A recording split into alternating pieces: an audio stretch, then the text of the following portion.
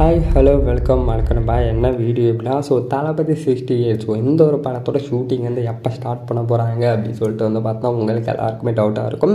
ஏன்னா இதுக்கான அனௌன்ஸ்மெண்ட் இதுக்கான அப்டேட் வந்து பார்த்தா எஸ்டர்டே ஸோ டீம் சைட்லேருந்து அஃபிஷியலாக கொடுத்துருந்தாங்க வச்சுங்களா ஸோ கல்பாத்தி அகரம் அவங்களோட ப்ரொடக்ஷனில் நம்ம வெங்கட் பாபு ஸோ அவரோட டேரக்டில் நம்ம தளபதியோட நடிப்பில் இந்த ஒரு படம் வந்து பார்த்தா வரப்போகுது.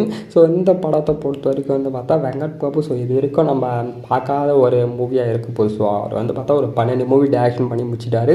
ஸோ பன்னெண்டு மூவியோட டிஃப்ரெண்ட்டான ஒரு ஸ்டோரி களமாக இருக்கும் அப்படின்னு சொல்லிட்டு சொல்லியிருக்காங்க சரிங்களா ஸோ இந்த ஒரு ஸ்டோரியை வந்து பார்த்தா நம்ம தளபதி கிட்ட பத்து மாதத்துக்கு முன்னாடியே நரேட் பண்ணி முடிச்சிட்டாருங்க சரிங்களா ஸோ அபிஷியலாக நேற்று அதுக்கான ட்வீட்டும் வந்து பார்த்தா போட்டு சொல்லியிருக்காரு.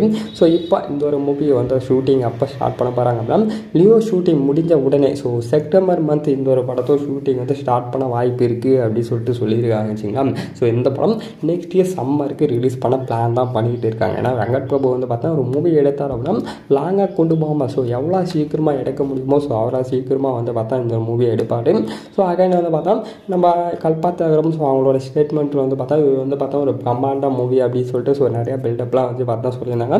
ஸோ நெக்ஸ்ட் சம்மருக்கு வருது அப்படின்னு சொல்லிட்டு அந்த ஒரு ஸ்டேட்மெண்ட்லையும் இருக்குங்க வச்சுங்களா கண்டிப்பாக ஸோ ஒரு பெரிய ஒரு வைட்டிங்காக தான் இருக்கும் இந்த ஒரு மூவிக்கு ஏன்னா ரொம்ப வருஷம் கழிச்சு நம்ம யுவனோட மியூசிக் வந்து பார்த்தோன்னா தளபதி கூட ஜாயின் பண்ணுறாங்க ஸோ ஒரு இருபது வருஷம் கழிச்சுன்னு நினைக்கிறேன். ஏன்னா புதிய கிதி அந்த ஒரு படத்துக்கு யுவன் மியூசிக் பண்ணார்.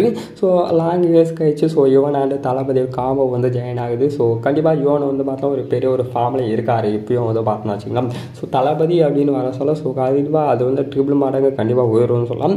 ஸோ இந்த ஒரு மூவியில் யுவனோட பேக்ரவுண்ட் மியூசிக் பயங்கரமாக இருக்க போது அதே போல் வெங்கட் கோபோட பாலிட்டிக்ஸ் கண்டிப்பாக இருக்கு அதிகமாக சான்சஸ் இருக்குங்க வச்சுங்களா ஸோ எதனால சொல்கிறாரு அப்படின்னா தளபதி அகைன் நெக்ஸ்ட்டில் பாலிடிக்ஸில் என்ட்ரி ஆகிறாரு. ஸோ அதுக்கான ஒரு இன்ட்டு ஒரு மூவியாக இருக்கட்டும். ஸோ கதை காலத்தோட நம்ம ஒரு ஸ்டோரி ஒரு பாலிடிக் பற்றி கொடுத்துட்டு போய் நெக்ஸ்ட் அரசியலில் சேருவோம் அப்படின்னு சொல்லிட்டு கூட வந்து பார்த்தா தளபதிக்கு ஒரு நோக்கமாக இருக்கலாம். ஸோ அதனால் இந்த ஒரு ப்ராஜெக்ட் வந்து பார்த்தா அமையுது. ஸோ கண்டிப்பாக வெயிட் பண்ணி பார்ப்போம். ஸோ நெக்ஸ்ட் நெக்ஸ்ட் இந்த படத்தோட ஷூட்டிங் வந்து செப்டம்பரில் ஸ்டார்ட் ஆகுது.